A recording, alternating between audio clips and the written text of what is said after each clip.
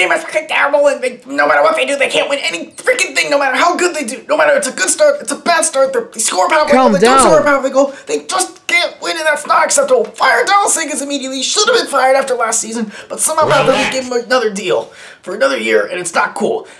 Dallas Eakins makes me so upset. I just want to explain. Ah.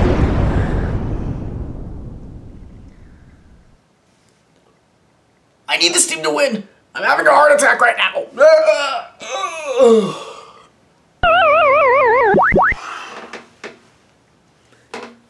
Did the overly loyal Ducks fan just commit suicide? Hmm.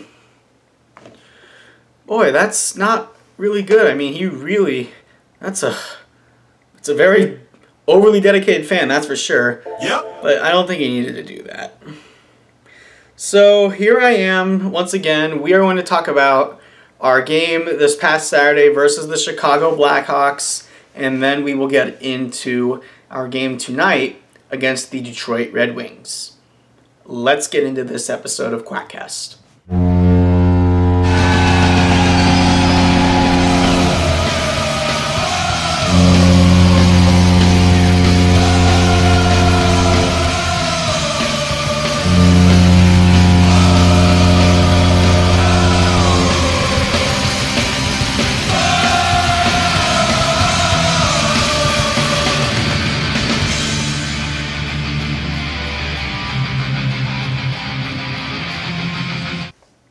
Subscribe to this YouTube channel for all of my latest content. The game. Ducks lose 3 2 to the Chicago Blackhawks. And this one really makes me mad because of a couple things. One, you outshoot your opponent 41 to 22. Relax. You only score twice, each within the first half of the first period. And the three goals you give up to, thank goodness none are on the power play. You, well, one thing that made me mad, took too many penalties. Two, the referees were absolutely plebeian garbage. And three, the goals you gave up to were to nobodies. None of the players who scored goals, two of the three were scored by one player, did I have scoring anything. The only and only the same two players factored in on the first two Chicago goals. Like, I mean, why are we giving up goals to nobody? It's because we're coached by Dallas Eakins. Are you sure about and that? he doesn't know how to coach a team. And this team just doesn't give a about discipline and smart play. It looked good early on because Troy Terry scored 19 seconds in off of a great pass from behind the net. That was from Trevor Zegras. That made it 1 0 Ducks against the goalie playing his like seventh career game, Arvid Soderblom. In the 11 minute mark of the first period, Adam Henrique snaps one past Soderblom to make it 2 0, and but then this is where it starts to fall apart.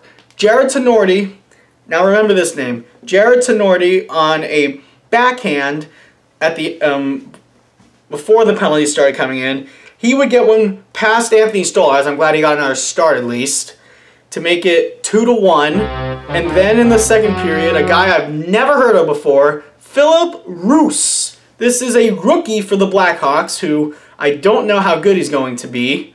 Filip Roos tied the game on a nice pass from, wouldn't you guess, Patrick Kane, like the only other good remaining player on the Blackhawks besides Jonathan Toews.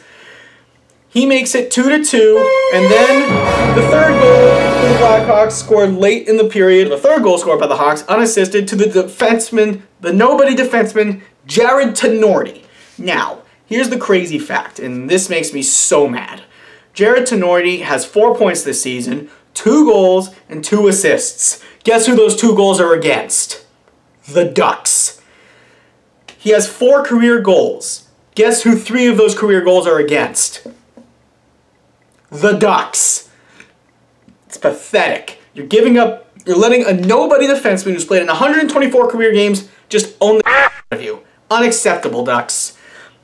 I mean, you tried at the end, you put up a few shots, but it's just, you guys just weren't meant to win. So again, the final score is Chicago Blackhawks 3 and Anaheim Ducks 2. Injuries are a thing, and I get it. But at some point, you need to have somebody step up.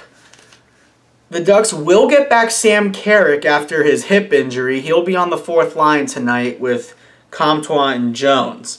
But more bad news. We are losing Nathan Beaulieu to an upper body injury.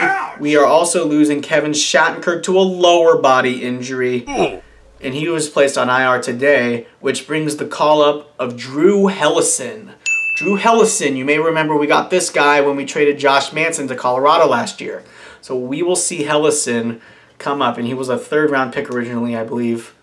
Third round pick? I don't remember, but the point is, you're going to see Drew Helleson play in this game, or at least be on the bench. Uh, Urho Vaakanainen is still out with an upper body injury. Ouch! And we, we, again won't see Drysdale the rest of the season with a torn labrum. Ouch! All right, players to watch time. So the Red Wings are off to a very hot start to their season with their number one goalie Ville Husso coming in at a record of five five and two, or five two and two, and Lucas Raymond, who was the runner-up to his teammate Moritz Seider in the Calder Trophy. Each of them have been hot in their last five, with Lucas Raymond having three goals and Moritz Seider having three assists in his last five games. The team leader in goals is Dominik Kubalik. He has seven. But back to Raymond, he's got six goals. I guess everybody in Detroit loves Raymond. Well, maybe not everybody, but everybody in Detroit loves how their team is playing. Anyway, Correct. terrible jokes from of references that for everyone loves Raymond. As I said with Moritz Seider, he's a defenseman, so don't expect a lot of scoring from him. Seider, I believe, has yes, he has five assists this season for five points, so hasn't been on fire yet with his production. So, but maybe he'll score against us tonight because Ducks. Keep your eye on Kubalik, Seider, and Raymond. Kubalik number 81, Raymond number 23, Seider number 53. And let's also keep an eye on the captain, I believe he's the captain, Dylan Larkin, who is 26 years old with 7 goals and 10 assists for 17 points. Larkin's a plus 5 in his last 5, or no, plus 2 in his last 5. That's a very good hockey player. Keep your eye on him wearing number 71. And let's also keep your eyes glued to um, Filip Hronek. Hronek has nine assists, which is good for third on the team. Hronek is a defenseman, so not a lot of goals to be scored, but assists will be common with this guy. One goal, nine assists for 10 points. Let's look at the Ducks. Now, obviously, you just saw me rip them to shreds earlier. Yep. But even then, you do, I need to realize they still have good players on this team. Guys that can score despite the fact we lose everything. Adam Henrique is one of these players. He is a very streaky, if you will, goal scorer. Five goals and a single assist for six points play, played through 14 games. Uh, Henrique, um, I don't know how good he's going to be down the stretch for us, but I'll enjoy this streak while it's here right now.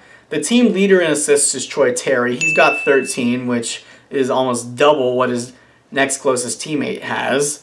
Terry has also been pretty hot over his last five. He's got five assists and seven points in the last five. And let's also look at Trevor Zegras with seven goals, six assists for 13 points so far this season. I think he's played in every game.